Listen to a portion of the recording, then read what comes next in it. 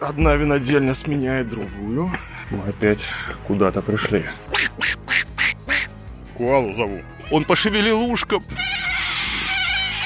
Я никогда не видел в жизни столько попугаев.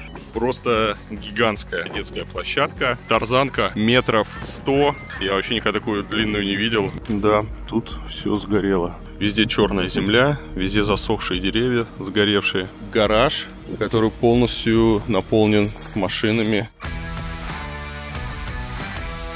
В 2019 году Австралия пережила одну из самых сильных засух за последние десятилетия. Кроме того, в декабре установилась крайне жаркая погода. Огненный сезон начался еще в июле, но пожары не утихают из-за засушливой погоды и сильных ветров.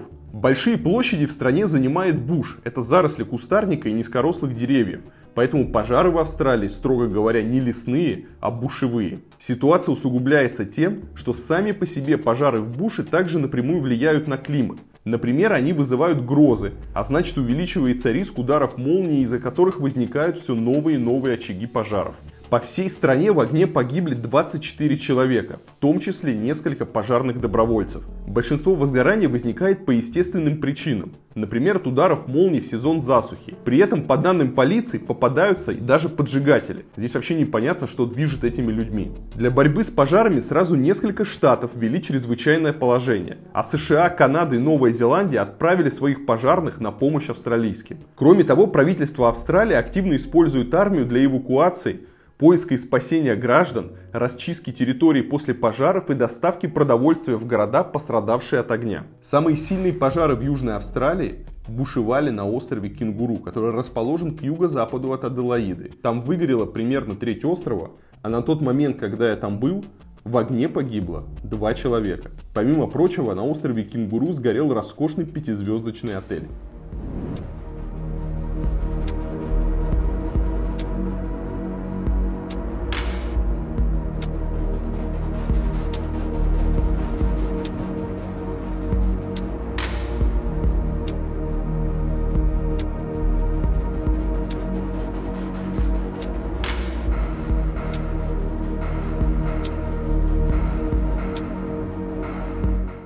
Да, тут все сгорело. Сгорели он деревья, поля.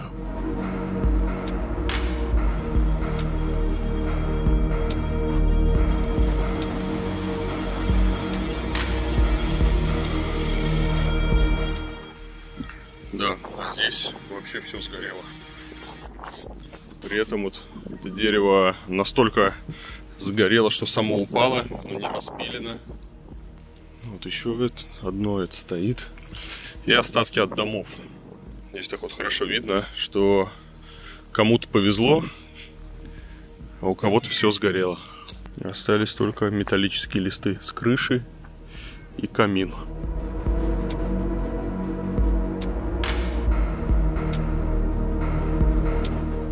Я не знаю, насколько вот камера передает цвета, но повсюду, везде черная земля, везде засохшие деревья, сгоревшие. И только вот какие-то чудом уцелевшие, вот есть несколько виноградников, какие-то как оазисы среди этой выгоревшей пустыни остались, какие-то зеленые уголки.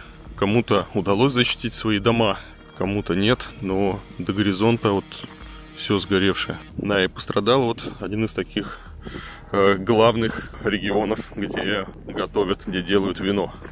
Много виноградников погибло, много хозяйств, а, скорее всего, разорится, потому что полностью сгорел у них все их виноград весь. Ну так вот грустно пожар ничего после себя не оставляет. В огне погибло огромное количество животных, но сколько именно подсчитать невозможно. Экологи из университета Сиднея полагают, что по всей стране жертвами пожаров могли стать до миллиарда особей.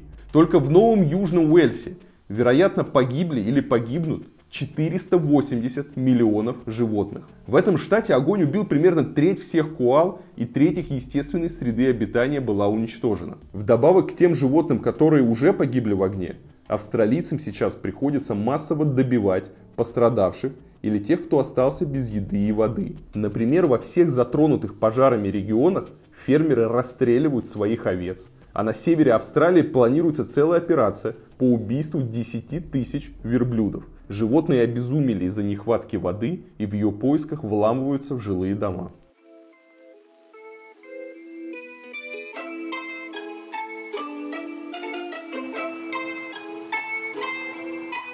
Здесь еще недавно была винодельня.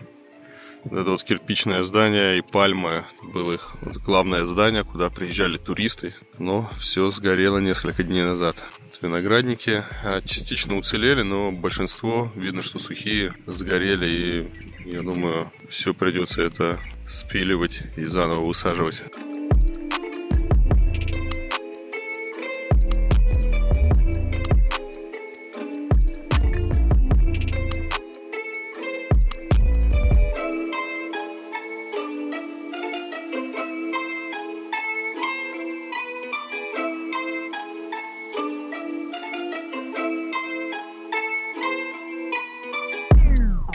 Здесь особенно обидно, потому что, судя по всему, здесь был или какой-то музей, или просто был коллекционер, потому что тут гараж, который полностью наполнен машинами.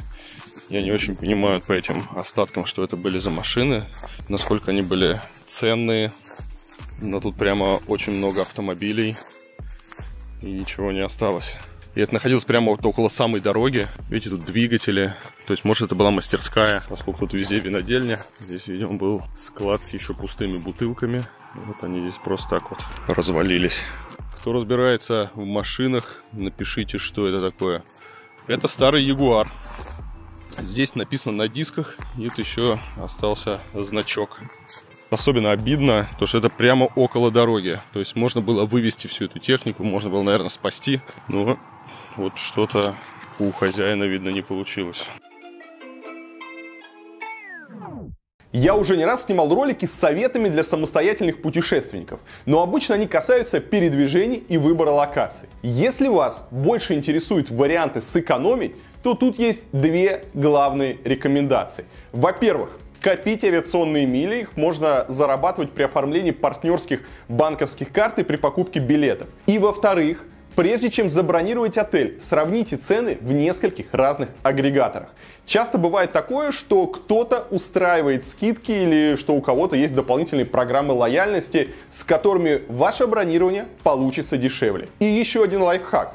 Пользоваться кэшбэк-сервисами. Лично я зарегистрирован в Letyshops – но как назло постоянно об этом забываю. Недавно я ездил в Австралию и потратил довольно много денег. Ну, например, только билеты стоили почти 278 тысяч рублей, а отели 56 с половиной тысяч рублей. Давайте для примера посмотрим, сколько денег я мог бы сэкономить. За билеты Letyshops смог бы вернуть мне около 2000 рублей, а за бронь отелей 1850 рублей. Очень неплохо, в общем, поэтому не будьте как я и не забывайте про кэшбэк. У Letyshops, кстати, даже специальное расширение для браузера есть. Если вы заходите на страницу магазина, то оно сразу показывает вам размер кэшбэка и дает кнопку, по которой его можно активировать. Это работает более чем с тысячи разных магазинов, от Алиэкспресса до МВидео, так что можно экономить не только на путешествиях, а вообще на любых онлайн-покупках. Расскажите в комментариях про то, как вы отбиваете стоимость своих путешествий, и для самого изобретательного зрителя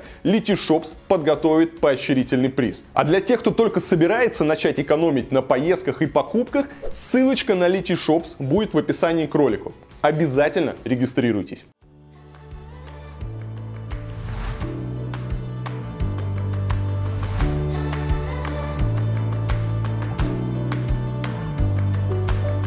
Винодельня Пенфолдс основана в 1844 году, одна из самых известных австралийских виноделин делают ширазик. У них тут все для туристов. Туристы приезжают прямо на автобусах. Вот есть логотип, можно сфотографироваться. Винодельня, там внутри как музей должен быть. Поскольку у нас тут главный турист это китаец, вот сразу в такой вот стилизованной китайской упаковочке. Такой вот ширазик. Это что такое? Смотри. Это как лимонад. Каберне Савиньон, Limited Edition. Это такая бутылка? Слушай, охренеть, да? Это, представляешь, такой ставишь и наливаешь. О, вон бутылка нормальная.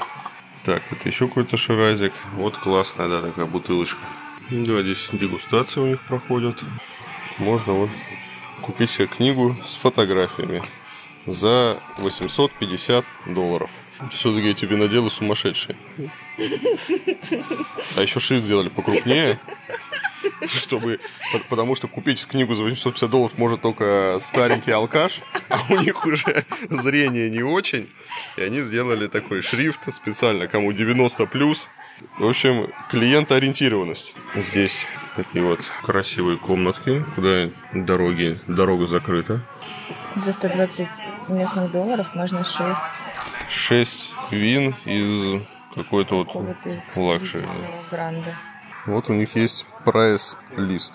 Есть вина, которые только здесь продаются, и они их не экспортируют. О, у них даже кофе есть. Таких вот. 15 долларов за 250 грамм пакетик. И кафе. Обрати внимание, что здесь э, персонал практически половину китайцы. И вот винодельня, старая винодельня. Можно даже тут походить, пока нас не выгнали. Да, очень круто. Тут прям, видите, старый завод у них. Вообще, вот этот винный туризм э, классная тема. Я во многих странах был на винодельнях и в Молдавии, в Аргентине, в Новой Зеландии, в Америке, да где только не был. И везде выглядит примерно одинаково. То есть вы ездите по винодельням, вы приезжаете, можно выпить, везде есть какие-то такие э, тестинг истории, то есть когда вам, э, ну, дегустационные, когда вам понемножку там по 30 миллилитров наливают разного вина, про него рассказывают. Что интересно, вот вино, даже если вы приедете в такую самую, ну, такую средненькую не очень хорошего уровня винодельню, вот когда вы пробуете это на месте, э, вино кажется всегда каким-то вау, интересным, потому что, почему, да, потому что важен не только вкус, а важен атмосфера, где вы пробуете это вино. Э, Когда это все происходит в антураже от какой-то старой винодельни, когда вам там все рассказывают, все это в каком-то красивом интерьере, вот это само настроение, которое создается, оно, естественно, делает продукт ярче и интереснее, вы влюбляетесь в это вино, это, мне кажется, вот вот лучшая реклама, которая продает потом вино. Единственная проблема, конечно, что до всех этих виноделен добираться комфортно можно только на машине, а когда ты за рулем, пить нельзя.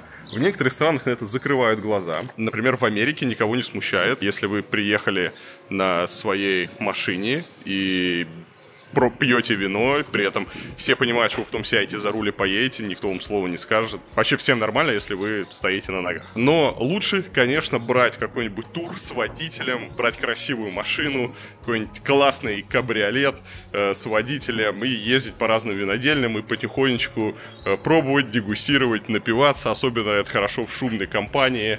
Да, и вот здесь мемориальная табличка. Основана в 1800 1944 году какой-то камень и покрыт был штукатуркой, на которой был разлинован, разлинован такой кирпич, какая-то бетонная какая-то история, которая уже отваливается. Непонятно, это специально был такой стиль. То есть сейчас получилась штукатурка, отваливается и обнажает камни каких-то вот невероятных оттенков. Эти камни мягкие, но выглядит, смотрите, как интересно. И вот здесь вот вид на виноградничке.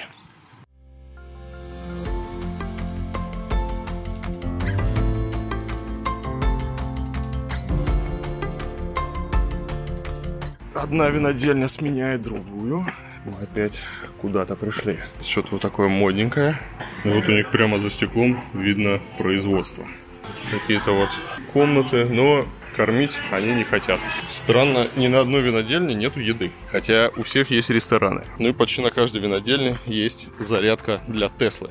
То есть, видимо, на Тесле здесь совсем комфортно путешествовать. Правда, она уже паутиной вся покрылась. Не часто ей пользуются, но, тем не менее, две зарядочки для Теслы у них есть.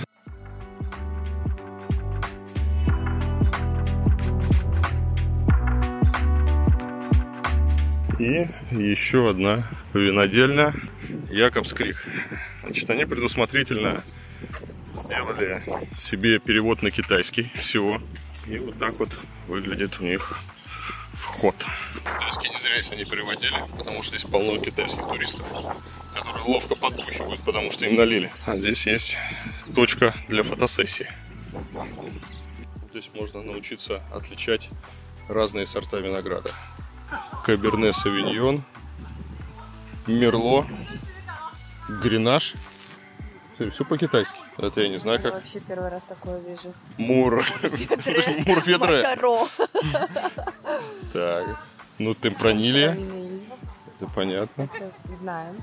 В общем, винодельни выглядят во всем мире примерно одинаково. Стоит домик какой-нибудь красивый, где есть магазинчик, дегустация, а вокруг виноградники. Ну вот они специально сделали так красиво с газончиком образцы с разной лозой, чтобы можно было пофотографироваться здесь прямо с комфортом. То есть Пекин есть у них, а Москвы нет.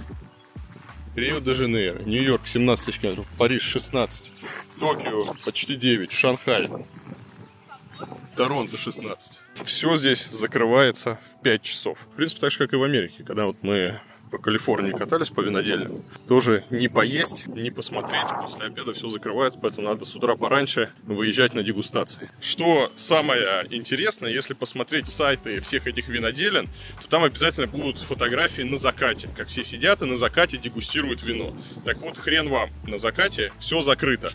Это обман и вот заблуждение потребителей. Сейчас поедем на австралийский пляж. Что такое австралийский пляж? Это песок. И все приезжают на пляж на машинах. Ставят себе палаточки, зонтики, достают пиво и купаются.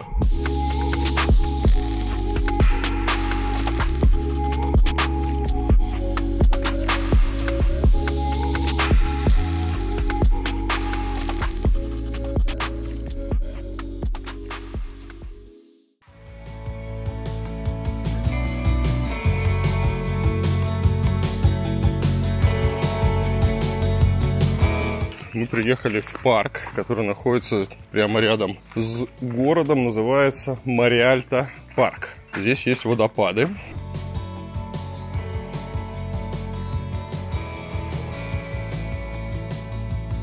Вот здесь прямо на дорожке есть такая штука, где можно почистить ботинки. А, Видимо, во время дождя это актуально. Здесь такая вот щеточка. И вот так вот здесь сделана навигация. У всех э, треков есть цветовая индикация. И вот на тропинках стоят такие столбы. Вот такая здесь красивая тропа. И судя по описанию этого парка, где-то здесь на деревьях должны быть коалы в своей естественной среде обитания. Но такая жара, что коалы, по-моему, все спрятались. Интересно, как звать коал? Как ты? Кыс-кыс это котика. Белку стуком орешка. А на что выманить коалу?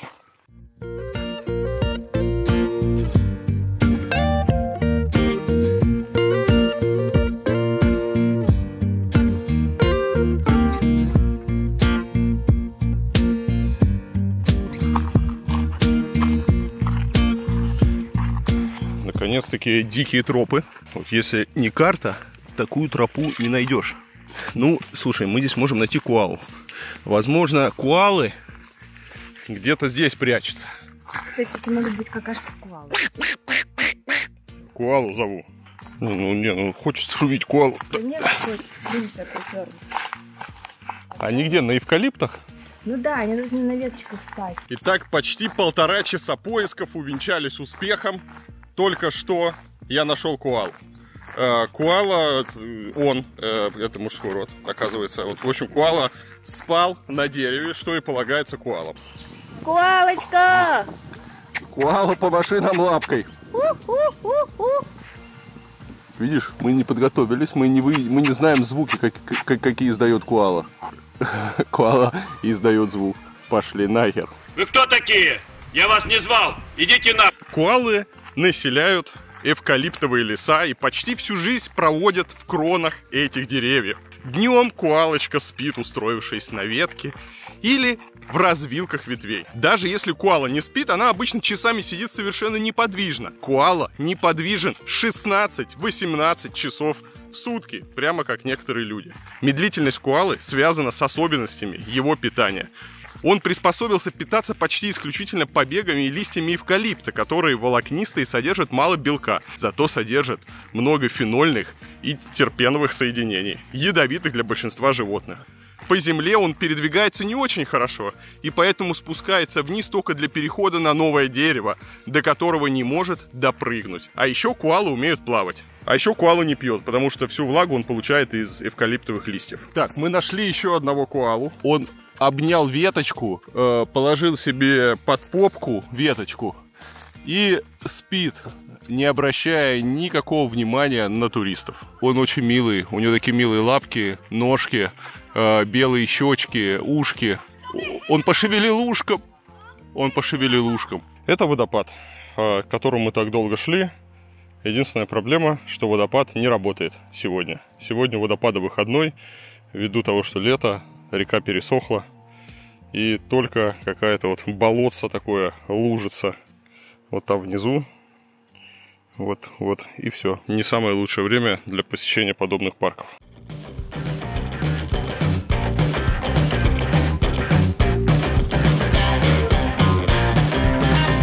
Я ехал по дороге, а здесь деревья, все в белых птицах. Оказывается, это огромные белые попугаи. Их здесь очень много. Вот они все кричат.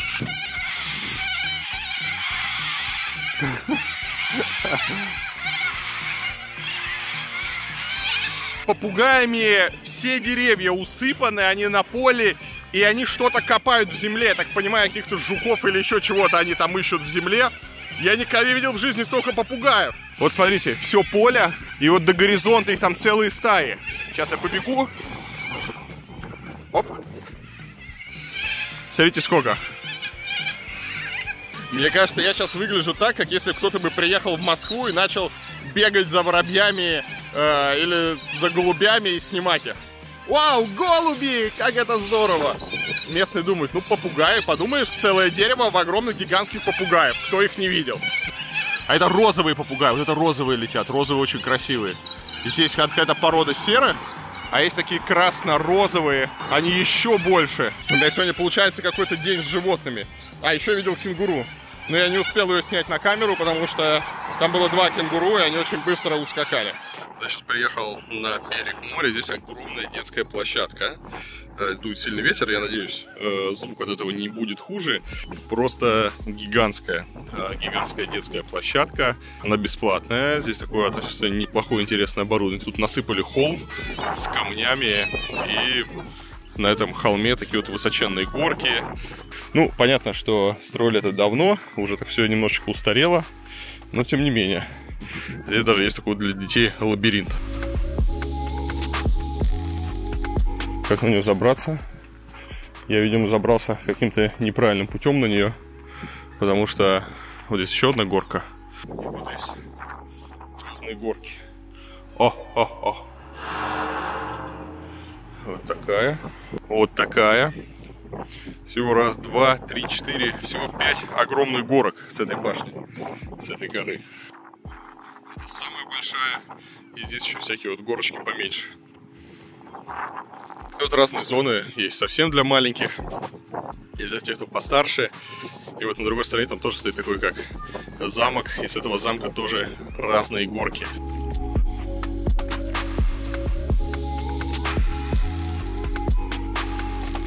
Зона с песком, вращающаяся паутина, ну и такая вот типовая конструкция. Ее часто можно увидеть в Европе. В России такую подделку делают какие-то ребята, не помню, как они называются. А изначально, по-моему, немцы придумали эту конструкцию. Такая штука с сетками, по которым можно там карабкаться, и в конце это заканчивается такой резиновой горкой. Вот вторая гора, и тут такой вот замок, и с этого замка уже три разные горки. Они поменьше, не такие крутые.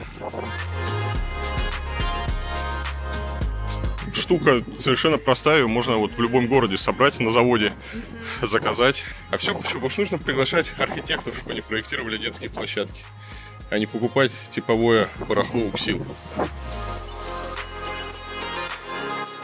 И в конце у нас стоит пиратский корабль. Я думаю, когда прилив, его может быть даже как-то подтапливает. Вот такой вот накрененный. А сейчас отлив, поэтому пахнет водорослями. Куча птиц слетелись питаться.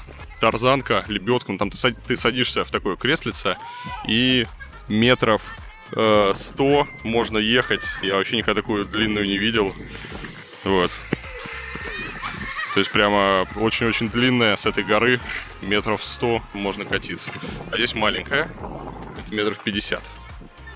Ну и для комфорта родителей тут есть навес со столами, есть гриль, можно пожарить мясо, вода в разных видах, есть питьевой фонтанчик, есть вода для наполнения бутылок и помывки ног, если нужно. И есть туалетный дворец. Вот такой вот парк, он полностью бесплатный, классные горки, э, хорошее зонирование, очень много э, разных площадок и зон. А главное, все удобно. Есть вот и туалеты, и вода, и тени, даже барбекю. Надеюсь, э, когда-нибудь такие детские площадки будут появляться и в России.